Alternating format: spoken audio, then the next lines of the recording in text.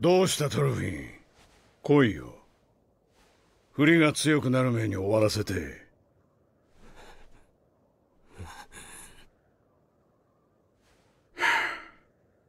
しょうがねえな。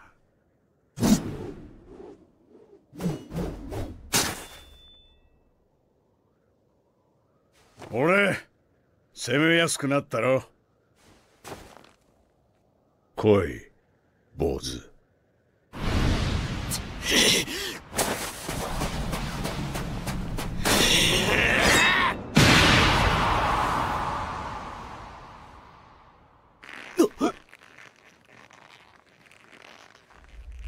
な？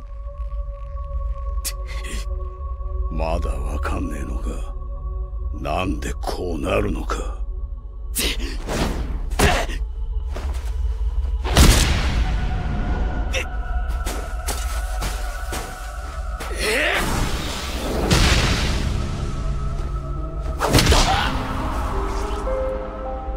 さっきの訂正。勝負になってねえやこりゃ。トルフィンのやつ癖から何からアーシェラッドに見抜かれてら。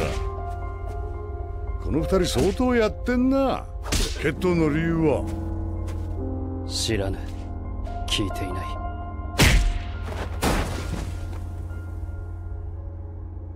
たく。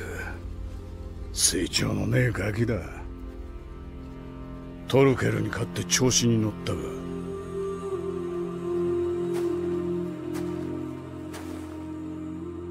加減うんざりするぜ。やめよそこまでだ。片手でこの俺に勝てると思ったか。まったく今日はクソ気分のいい日だぜ。やめろ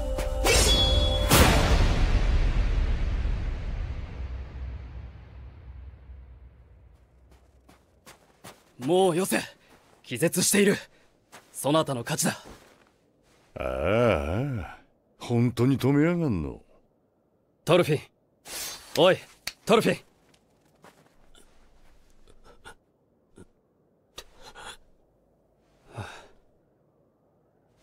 わかるか。決闘はもう終わったぞ。そなたの負けだ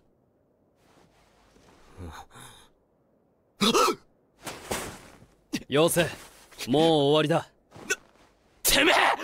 気を失ったのだ。すでにとどめを刺されている。右腕が治ってからまたやり直せ。治っても同じですよ。怪我のせいじゃねえ。そのバカはバカだから負ける。